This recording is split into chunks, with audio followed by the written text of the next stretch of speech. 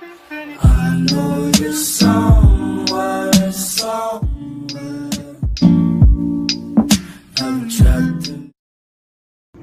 boys and girls, Mr. A here, getting ready to see Avatar Way of Water. So when I come out, I'll give you a non spoiler review of the movie. Remember, guys, when you see the movie, don't spoil it for people. I'll see you when I come out. This movie's about three hours long. Mr. A, over and out.